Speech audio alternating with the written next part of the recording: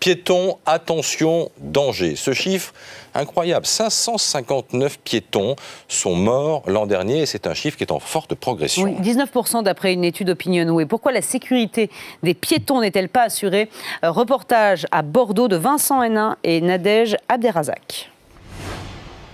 Le feu est vert, le passage est dit protégé et pourtant, comme plus d'un Français sur deux, ces piétons sont loin d'être sereins au moment de le traverser. Sur des grands boulevards comme ça, quand il y a euh, des voitures qui arrivent vite, qui respectent pas forcément les limites de vitesse, c'est pas forcément sécurisant. C'est pour ça qu'avant de passer un passage piéton, je préfère bien vérifier qu'il n'y a personne. C'est pas parce que le feu est vert pour le piéton qu'on est en sécurité si une voiture grille le feu. Le passage piéton n'est pas assez long.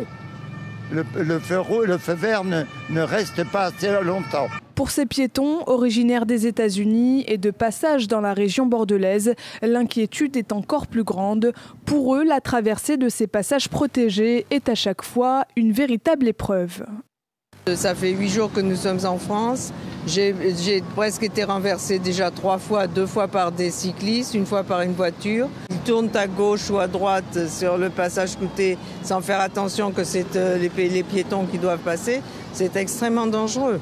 Des comportements à risque qui ont notamment coûté la vie à 559 piétons en 2016, soit une augmentation de 19% par rapport à l'année précédente. On considère que 9 accidents sur 10 est dû à un comportement mal adapté. Le terme passage protégé n'est peut-être pas adéquat parce que les piétons ont effectivement une priorité de passage sur les passages dits protégés, mais en fait ils sont euh, exposés à un risque majeur.